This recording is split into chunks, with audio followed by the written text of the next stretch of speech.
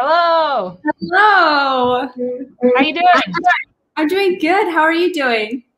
Good. Um, I'm Erin Merrill. I'm a student engagement librarian here at Westminster. I'm also um, the staff council chair, and I'm super excited to be part of Westminster's um, One Westminster Day today. And it looks like we're almost at 500 gifts, so feeling good.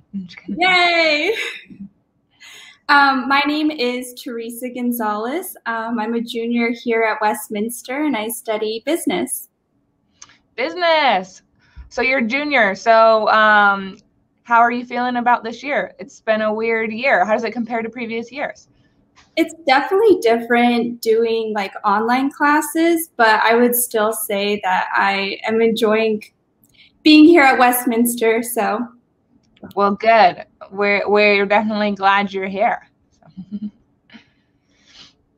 I think in just a moment we will be having our first guest, uh, Julie Balk. Well, well, for us, I know we've had a lot of guests through the day so far, uh, but I think she'll be joining us in just a moment. Uh, do you have classes going on today? Um, not today, but um, tomorrow. Okay, e easy class load day. Perfect. Well, it looks like we're ready to go ahead and add Julie. So should we give her a warm welcome and bring her on in? Hi, everybody. Julie. Hi, Hi Teresa. Hello.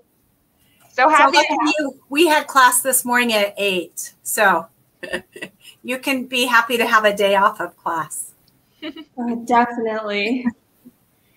Do you have any uh, friends, Teresa, in the nursing program? Unfortunately, I don't. So I think me and Julie will have to be friends now. So that will be great. So, Julie, um, what is a nurse practitioner kit?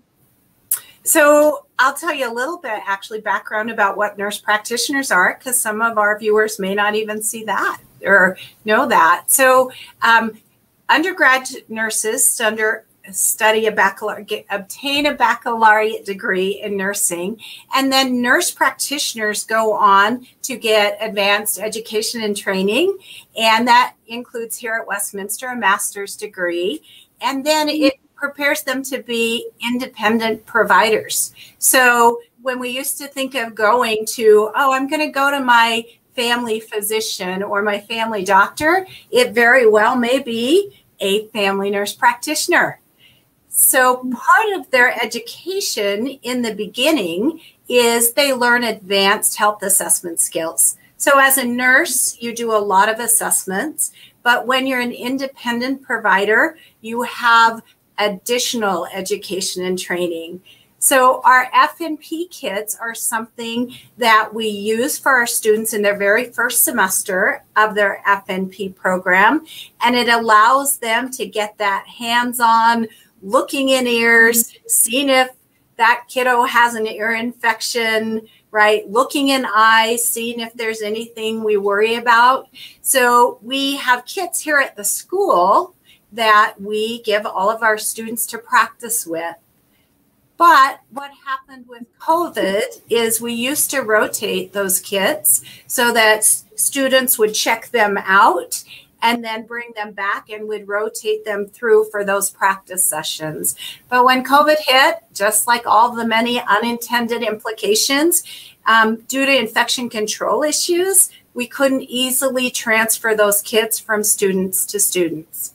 And that's when I thought, boy, this is a great opportunity to provide every one of our first year students a kit to keep through their entire first year so that they can practice when they want and they don't have to juggle trying to share it with another student. That's awesome. What what's all included in the kit? Like what types of tools are in there and um, that allows them to do some of this practices? I just happen to have some of those. Ooh. So certainly our most expensive item. I should little I have a little example here, but it's called an oto-ophthalmoscope. So kind of a long word, but essentially it is the um, the piece of um, equipment that our students have to use to be able to look inside the eye. So not just look at the eye right from here, but we actually use this equipment, sorry, that allows us to look actually in the eye structures inside. And then it also has an attachment where we look at ears. So if you think of going to your family provider and saying, oh, do I have an ear infection or not? The oto-ophthalmoscope allows us to be able to make those diagnostic um, decisions. So unfortunately, the, the good, solid, well-made oto-ophthalmoscopes cost over $500 each. Um, so that's certainly the most expensive. Then we have other items, which you've certainly seen before, simple things like a reflex hammer and tuning forks, right? Make sure that your hearing's normal, make sure that your sensation is normal. And then we also, let me find it, we have other items that measure how far you can bend joints. So when somebody says, oh, I took a day off and went snowboarding or skiing and I think I hurt my knee, we actually have measures, um, uh, equipment that measures that angle. So lots of important new equipment for those um, FNP students to make that transition from being a, a, registered nurse that works maybe in a hospital to having right utens- um, instruments for their own practice. That's pretty amazing. I I didn't uh, even think about how the sharing would cause some issues. And so the fact that they'll each be able to have their own not only you know reduces the risks with covid but also gives them more opportunities to practice because um, they're not sharing that tool. So that's really exciting that we're going to be able to get that for all of your students hopefully. Yes. Um, so I just want to ask, um, what do you think is unique about the nursing, about nursing education from Westminster? So I have to tell you first, Teresa, I'm biased because I received my undergraduate nursing degree from Westminster. Woo woo! Many, many years ago. I've um, had one son graduate, one son who maybe you can meet on campus, who's attending now. Um, but I do, I know you hear a lot about a unique environment for learning, but I have to tell you, it truly is a unique environment for learning. We're committed first to our students, meeting their needs, meeting them where they are, and really that individualized in you know instruction. I just had a student I taught this morning. I had a student come up and say, you know, I got to tell you, I can't speak more positive about Westminster and especially the response during COVID, because that was a game changer. And she said, I'd do it all over again. And when I have a second year student looking at graduation within eight weeks to say they do it all over again, that's a win because they're tired. yeah, um, your FNP students are extremely busy uh, what's like a, a, typical week or schedule for some of your F- FNP students? So we have made our program created to support um, working individuals. So since you have to be a nurse before you come back to nurse practitioner school, those all of our students work as an RN at the same time. So we create classes in blocks. So we teach either all day Tuesday or all day Wednesday so that it gives them ability to on another day or two spend time in clinical learning their new role or also spend time at their regular registered nurse job.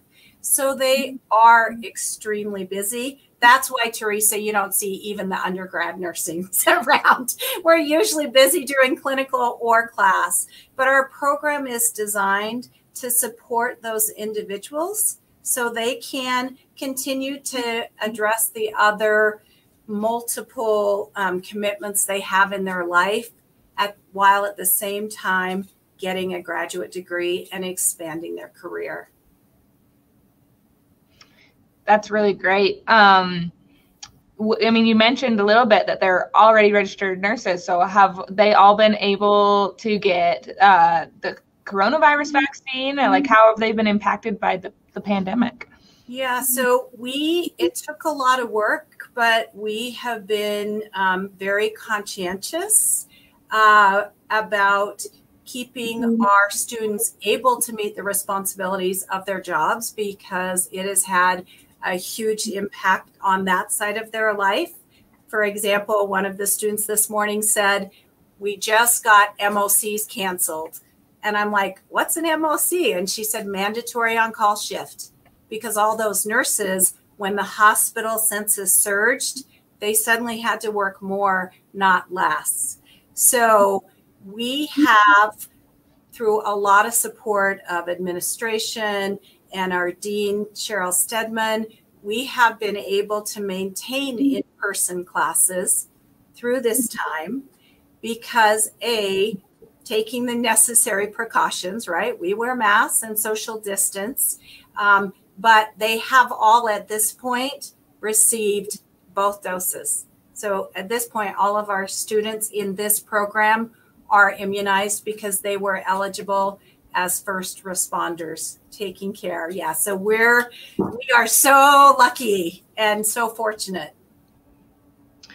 Well, that's what I was hoping to hear. I was hoping that they've all gotten it. I, um, you know, since they're out there, they're working, they're doing the hard stuff. We'd really hope that they have that protection. So, um, yay! So much yay! That's the best news. Um, I had a great question and now I'm like so like excited that I can't even think about my question because I, I, I just can't even believe this. Um, with the assessment kits though, uh, how many students do you have in the program? How many are you hoping to obtain? How can donors really help us meet that goal? So thank you for asking that. I, I think one of the um, important things to note is we continue to have um, so many people who want to come to the FNP program, right? We always have lots more applicants than we do um, spots available. So we are looking back when I first started teaching at Westminster, we had about eight to 10 in the program. Now we have 24, and this next year we're going to have 28. So our goal is to get 28 kits.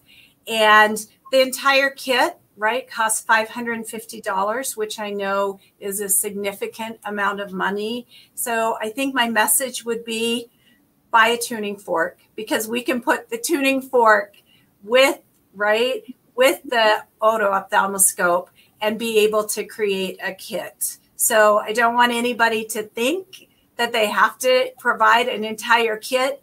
They can provide a piece of a kit and we will put it all together and make it whole. Yes, definitely. Everything helps. And people can do that right now on the Giving Westminster website by uh, selecting your program as your chosen donor. And so, uh, kind of like you're saying, it doesn't have to be the full amount. Any donation that you provide will go towards um, helping create these assessment kits. I love how you say, like, it can be just a tuning fork, it doesn't have to be the whole thing. That's fun. Yeah when students are, are using the assessment kits, uh, you notice um, you mentioned how they're really using it to practice. Are they practicing like on their friends and family? Are they practicing with um, like in the areas that they're working in their clinicals? Where do the assessment kits get used? All of the above. So certainly we warn the students their first couple weeks of school, like tell the person you live with, sorry, they're going to be a real life model. Um, so they certainly do use their friends and family as perspective, right? Practice patience. Um, we also, I love our program. We have students in rural areas, right, to help meet the underserved needs of um, our populations that don't have easy access to healthcare. So next week, I'll be going to Bicknell, Utah, to see two students who we've placed there. And the kids actually provide them an opportunity to take to the rural setting as well, because not all of those healthcare facilities have this equipment on a wall because maybe they can't afford it. So the providers that are there have their own kits, but this will also allow our students to take their kits with them. And, and again, we have a focus on meeting the needs of people that live in Utah, whether that be in the middle of Salt Lake City mm-hmm. or in a small, you know, rural town. Okay, that's amazing. I think we need to pause right there and recognize that these kits aren't just like helping our students, which of course they are, but it's also helping our local community, um, helping people get treatment. And um, as you mentioned, it's going to a lot of rural areas where they might not even have the, the funding for it, um, which I didn't know. I didn't realize that it was like had this larger community connection. And I think that's really, really amazing. So it is certainly one way that we help to give back to our community at large. So yes, it has. This will have a huge impact in a multiple, you know, different ways. Um, so I know the goal for the program is 75 donations, and we're currently at 33 right now. So that is awesome. Yeah, we're like what two hours into Giving Day, and you're already over a third of the way there. So, um, if you're listening right now, though, let's keep it coming. We don't have to stop there. We won't stop there. So let, us reach that goal of 75 donations. You've got the little link right there. Pick the FNP program. We'd love to help them hit that goal. And I have to say, I'm going to reach out because I probably have, I don't know, hundreds. I can tell you more than a hundred um, students that I have taught through all these years so again, I ask you to give back. I know you're out in your careers and being independent providers and contributing in that way, but I would ask you to give back to Westminster. So if if you ever had to survive through my advanced health assessment class, right? Remember that day when you were so nervous the first time you were looking in an ear, and let's pay it forward and make that happen for our students that are here now. Aside from your students, is there any message you would want, like the general community or um, anyone outside of your various nursing programs, uh, to know? Wow. Okay, I warned you, Erin. Don't give me hard questions. Erin comes and helps our master students as they're getting ready for their master's project. and she is a big thinker. So I'm like, okay, Erin, no hard questions. I know you you create those hard questions. So I don't think so, other than mm-hmm. again, it it it's an important contribution. It has far-reaching impact, even more than you realize at face value. Um, Westminster changed my life from a very young age of an 18 year old coming to college. And I have been continued to be grateful for that impact. So again, I just encourage you dig down, look at what from our for our alum, what Westminster's given to you, and it's time to give back. As even as small as that needs to be, please give back. Um, already as like being a junior here at Westminster, I just have to agree with you, Julie, and like already feeling like Westminster has changed my life significantly in the best way possible. And so I I encourage everybody to give back. To Westminster and stand together for Westminster. Yeah. Go Griffins. Yeah. Julie, I would actually like to know a little bit more about um, like what your faculty are doing right now to help support uh, your family nurse practitioner students and how's it been on the faculty end this past year and um, just a little bit more about the work that you guys are doing as, as a faculty Okay. So our faculty, I, I, can't say enough about my peers that I work with. Again, um, digging in when we needed to dig in hard. All of our faculty in the FNP program also maintain at a one day a week outside practice so that we can maintain, you know, stay current in treatment. And so at the same time, we were trying to pivot our instructional design for our students, support our students who were working all those extra mandatory on call overtime shifts. Um, as a faculty, we were also trying to juggle our own practices a making sure we were meeting our patients needs but then also pivoting our practices to perhaps telehealth where we had never like in my personal practice i had never done telehealth before. I've been a nurse practitioner for 27 years. So trying to add that on the additional skill set of how do i manage a patient i've taken care of for 15 years now through video technology, there were a lot of pressures on our faculty.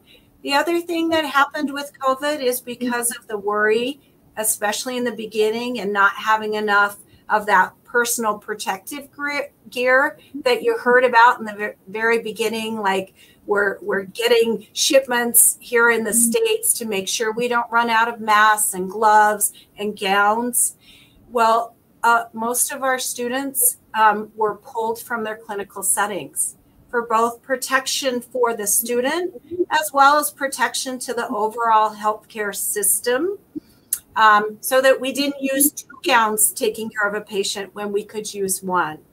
So there were mm. so many layers, and I just can't speak to my workers enough to really, we had to get very creative.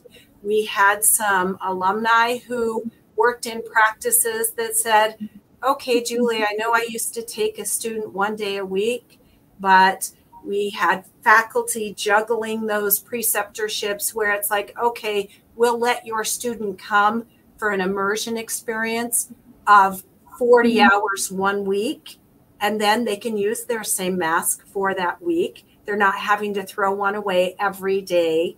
And so just the creativity and, and commitment, because our faculty were trying to meet the needs of our students, our new instructional design, as well as managing our own patients in our clinic where we had to learn a new skill set very quickly. It's amazing, honestly, how much you all do. Um, you know, I feel sometimes distressed working in a pandemic and I'm in this cozy little library office. I don't have to interact with everyone so much. And so, just like you said, there's so many layers to everything that you do. And so, I think more than ever, now is a great time for the Westminster community and, um, you know, the local community to really come together and give you guys the support because this past year, you guys have really come together for us as a community, like truly. Um, I like I really can't say enough of how much you guys are doing and I think a, lot of us are grateful for the work that you do. So it's inspiring to hear about and I appreciate you letting me ask cuz it's amazing. Yeah. It has been an amazing year. and we've come out stronger for it, better prepared.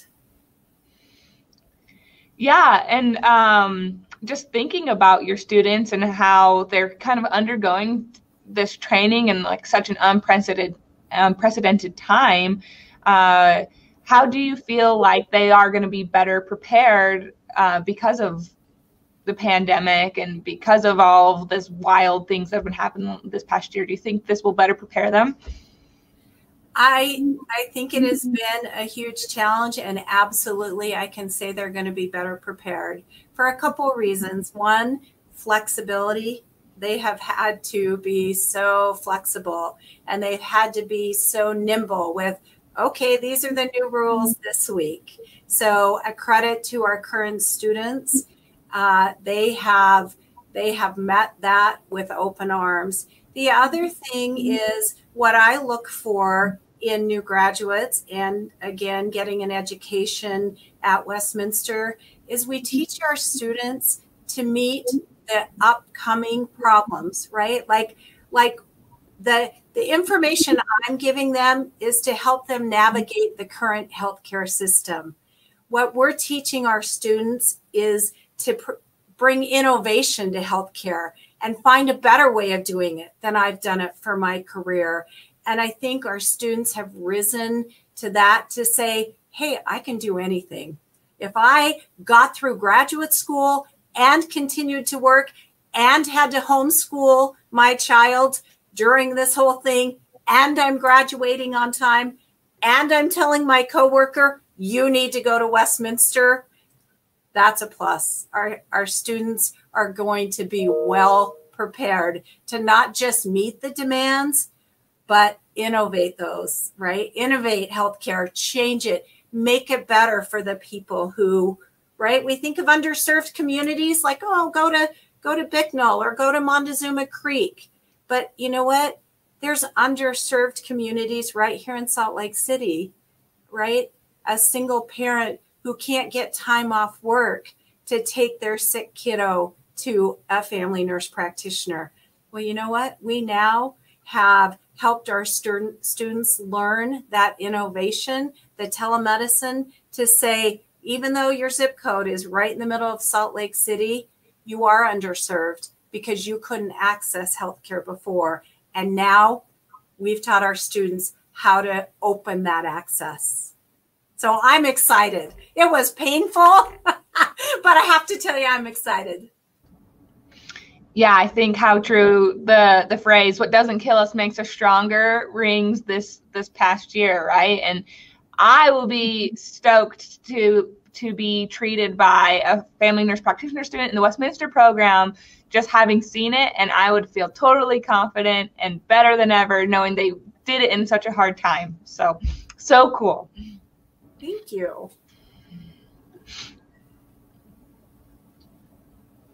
Yeah, it's honestly, it's truly amazing, like how students just have had to adapt to this. And I think it was so awesome that you like brought up that a lot of them, you know, um, are trying to work, go to school, graduate on time, and you know take care of their family. And I think it really shows like how strong everyone has come out of this. So yeah. And I get emails from lots of various nursing students like at 11:59 p.m. at night. They're working on their homework. I know that they're constantly burning that midnight oil. Um, really putting in the necessary work, not just to like get through this time, but su- do so successfully so that they can be prepared and smart. And I, I know because they, uh, they message me all the time, trying to find the, the right solutions for their patients. And um, yeah, they are the hardest workers, and so uh, it's exciting to see that we have the opportunity to support them. Um, just like Maggie Regier saying, "Where would we be without our amazing nurses?" So true. I can tell you, nowhere good, at least on my end. So. I have to tell you, Erin, it's funny because we always talk about the big joke of like, oh, the nursing students put their assignments in, right? 1059, 1159, 240. During the rapid pivot with COVID, you know, about one year ago right now, a student sent me an email back and said, Hey, I noticed your email about clinical placements went out at 440 this morning. That's a student time, not a faculty. And, I just smiled because I thought that is that mentoring collegial relationship even though it is a, a faculty student, it's more about a mentoring relationship. So not only do I try to help our students navigate, they're well aware of the contribution Westminster gives back to them. Absolutely. Well, uh, we're about out of time, so we just want to put in one last pitch for your program. We're trying to reach 75 donation. Every every single bit helps. Um, you, you've got the link right there up on your screen, giving.westminstercollege.edu. Make sure that you select um, the FNP's program and help uh, develop these assessment kits that aren't just going to benefit our students, but our community. All right. Well, thank you so much, Erin. Teresa, I want to see you on campus someday. It's it was very nice to meet you here. Come on over to the yeah, come on over to the right Health and Wellness Center and third floor, and I'd love to meet you in person. At in in addition to virtually. Yeah, absolutely. You know, I don't think I've ever even been um, in the building before, so that'll be a great reason for me to go in there and check it out. So I would love that. So one more time, please help us meet our goals. 75 donations. Every little bit counts. I just appreciate everyone and your support. Well, thanks so much, Julie. It was a pleasure talking with you this morning. Um, next up, we'll have some videos to share featuring the visual arts from around Westminster, and we'll see you back here at 11 a.m. with our next our next guest, Kim Zarkin. Um, so let's go ahead um, and we'll get those videos rolling, and we'll see you in about 30 minutes.